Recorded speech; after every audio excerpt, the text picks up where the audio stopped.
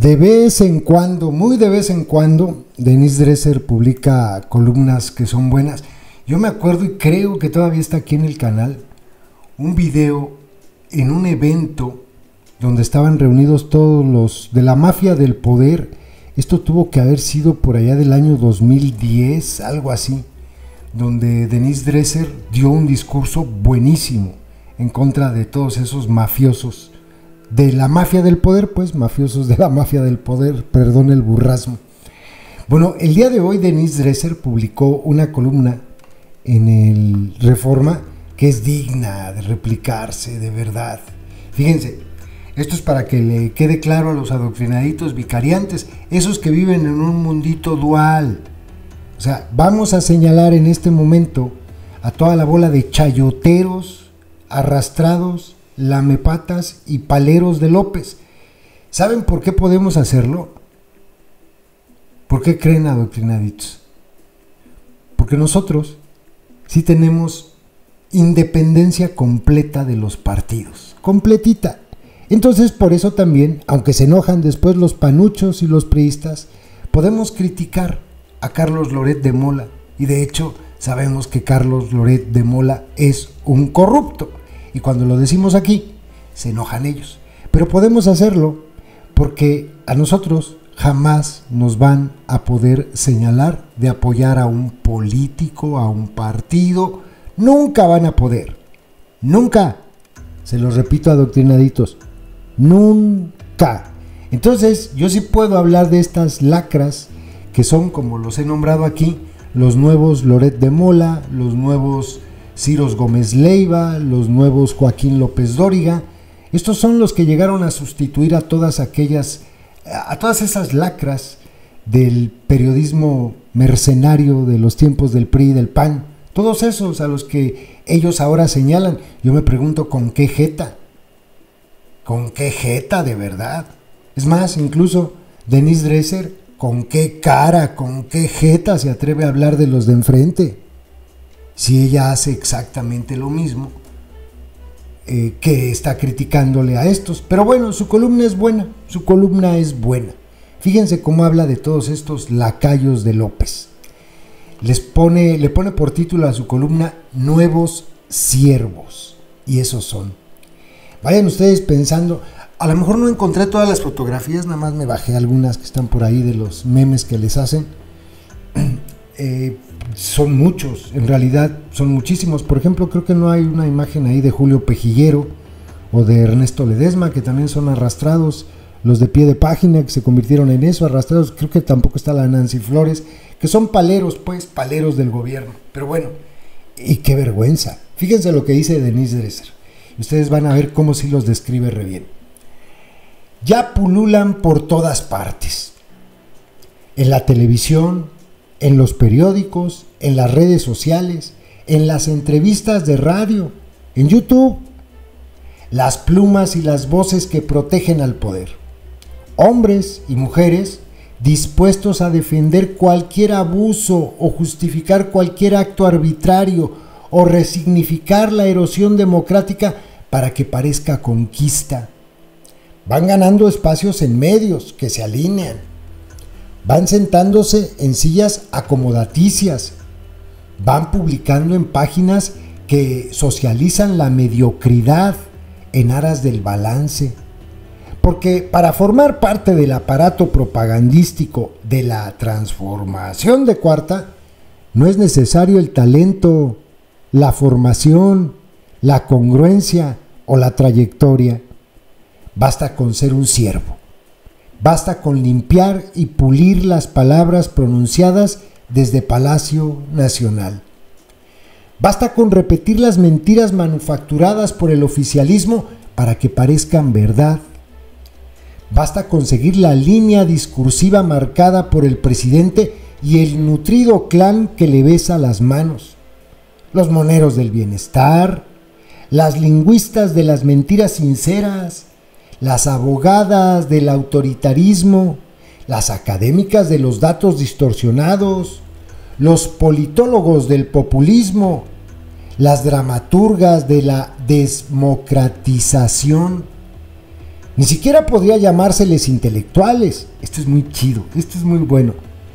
Porque eso entrañaría que fueran capaces de producir un pensamiento propio. Esto yo se los he dicho muchas veces aquí. No son capaces de crear una sola idea propia, no son capaces de un discurso propio. Denis Dresser dice de esta manera, ni siquiera podría llamárseles intelectuales porque eso entrañaría que fueran capaces de producir un pensamiento propio. No lo tienen. Pero los nuevos tiempos no exigen eso, ni su público lo espera. También el público, bueno, dicen que el que consume eh, basura es porque vive en la basura. sí, ¿no? La única tarea que les toca es ser megáfonos de la mañanera, amanuenses del amloñol, orfebres de la obediencia, taquimecanógrafos del tlatuani, y ocasionalmente mezclar un gramo de crítica con kilos de sumisión para no ser tan obvios. Algunos lo harán por convicción, otros por interés. El resultado es el mismo, la degradación del debate público disfrazado de relevo generacional o combate al conservadurismo de los medios comerciales, en los cuales todos cobran, en los cuales todos y todas quieren publicar o aparecer, en los canales públicos del Estado, donde se parodia a los críticos, pero se guarda silencio sobre los hijos de López, donde se denuestra a los disidentes, pero se defiende a los indefendibles, donde se crucifica a los opositores, pero se paga a los seducidos. En esos espacios de estulticia, la retórica de la posverdad prescinde de evidencia, investigación, cifras y datos, o los tuerce a conveniencia. Para ser orador del obradorismo, el único requisito es perder todo límite ético, todo sentido de decencia, todo engranaje de empatía. No se trata de servir a la verdad, sino de servir al rey o a la heredera. No se trata de analizar la realidad del país, sino de taparla cuando te lo pidan. Ojalá los nuevos siervos y siervas tuvieran la honestidad de mirarse en el espejo. Se parecen tanto a quienes aspiran a reemplazar Ninguna clase gobernante puede, puede perdurar sin sus explicadores. Y los pianistas compraron a los suyos con becas y becarios, contratos y consultorías, tajadas y embajadas, proyectos especiales y contratos editoriales. Los capitales de la cultura se convirtieron en cómplices implícitos de un sistema al cual tenían la obligación de criticar Hacían mutis o hablaban en voz baja durante cenas privadas. Para prosperar había que comprometerse a no molestar o hacerlo solamente tenuemente, con matices.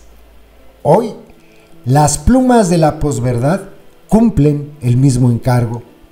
Hoy, las columnistas del clickbait aspiran a la fama fácil, no al pensamiento libre, o a la independencia intransigente. Fíjense, aquí donde dice la, hoy las columnistas del, click, del clickbait, fíjense, eso es exactamente el chueco ese de la, ¿cómo se llama su canal? Eh, el, del jefe de la verdad, el, el, defensor de la verdad, ese, y la otra que salía con él, la, la bandita, la bandida, y la tal Juncal, esos son los masters del clickbait. No manchen, qué títulos, qué mentiras. Eh, se cayó la línea 12 por una gran explosión porque los estadounidenses se dieron cuenta que abajo había petróleo. No mamen, no mamen, de verdad. Yo le estuve mostrando esos títulos a compas de acá, se reían. Nada más con verlos, o sea, ni siquiera sabían quiénes eran. Yo les mostré títulos de esto. Puta, se reían. ¿Qué es eso? Decían, no, no es posible. que es eso? Son los del clickbait. Pero bueno, continúo. Los lacayos de las letras ya están haciendo negocios. Esos que decían que, eh, no lo hacen por dinero, dicen. Los lacayos de las letras ya están haciendo negocios, obteniendo adjudicaciones, reciben dinero del erario, viviendo de la publicidad oficial o de los pagos documentados que les envía Lady Repsamen. A todos los que han visto, pero no, no podría asegurar que a todos, pero a la gran, gran mayoría, a todos, bueno, oh, a la gran mayoría los maicean. Esos son los chayoteros adoctrinados. Esos. Y de esos hay pruebas, hay contratos. Están a la disposición de cualquiera que pueda o que quiera ingresar a, las páginas de los contratos del gobierno de México. Ahí están. Y a todos los han exhibido. A todos. Aquí no van a poder nunca. Y se los vuelvo a repetir y me da mucha risa. critican a los caudillos culturales del neoliberalismo, pero pelean por publicar en sus revistas o debatir con ellos. Embisten a los medios comerciales que mantienen su estilo burgués de vida mientras pregonan su cercanía al pueblo.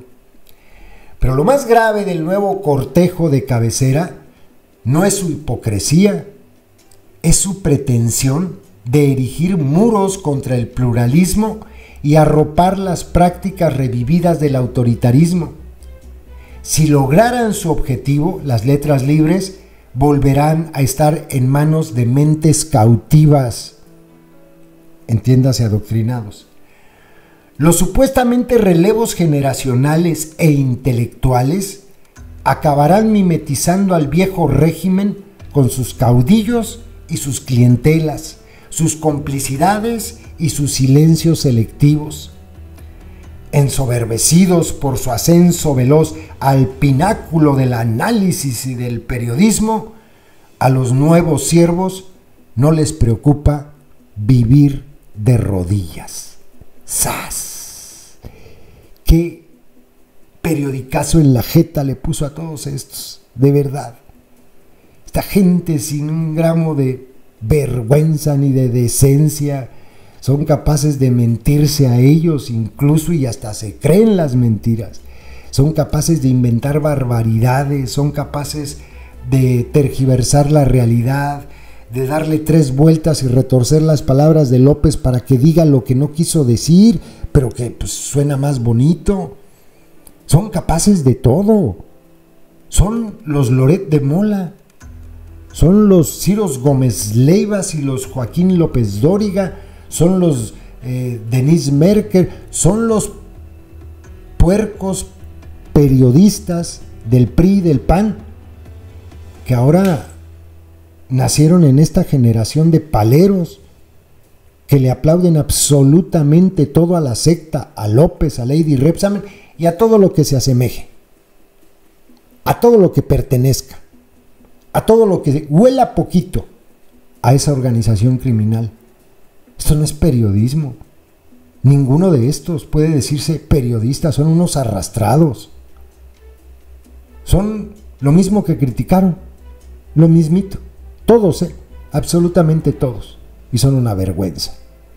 Che, gente, yo no sé cómo se sienta a comer.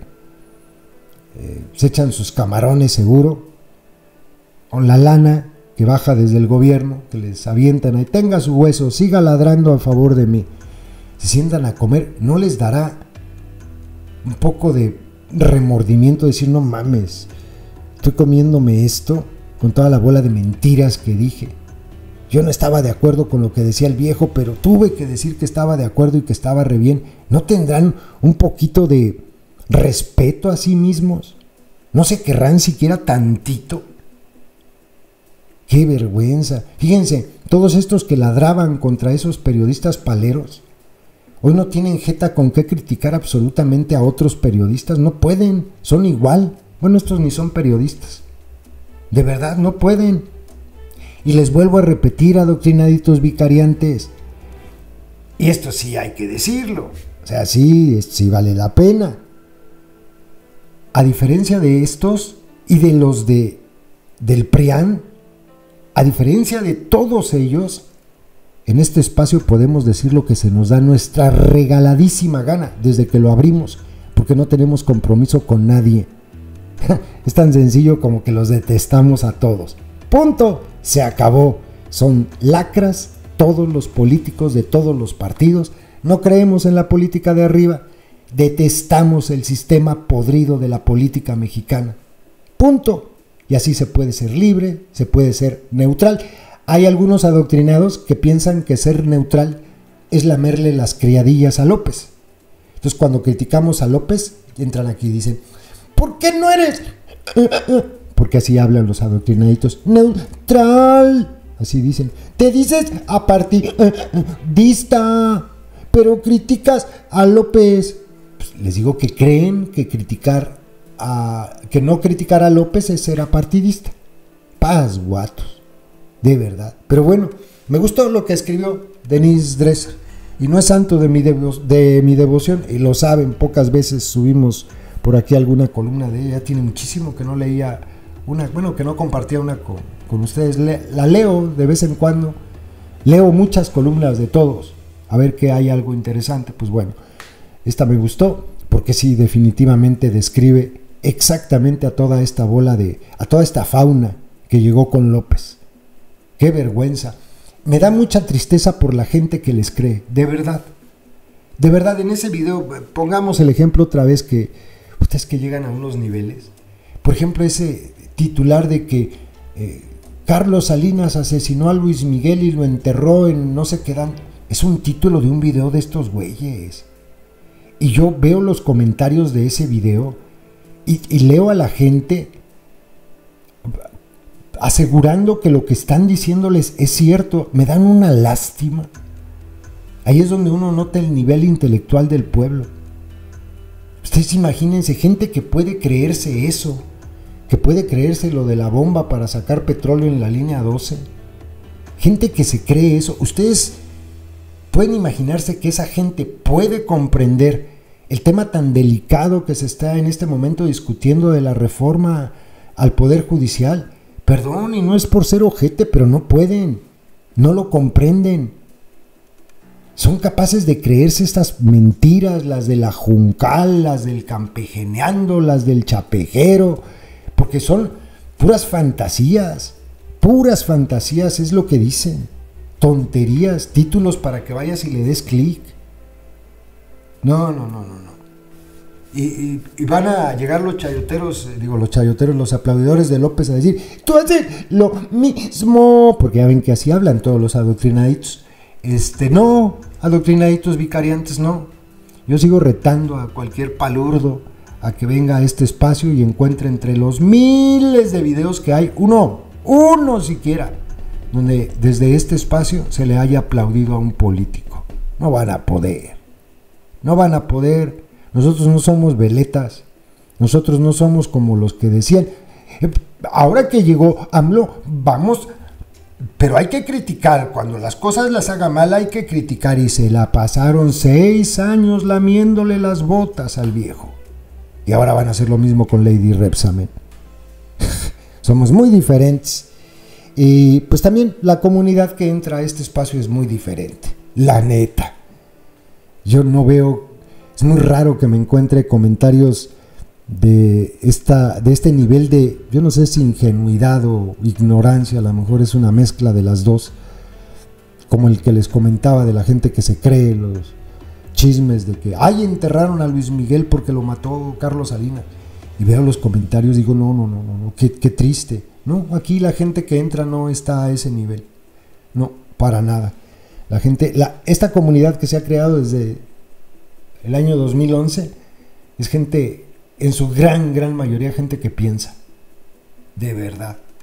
Los palurdos se van solitos porque no le entienden al canal, se les escapa del entendimiento. Saludos.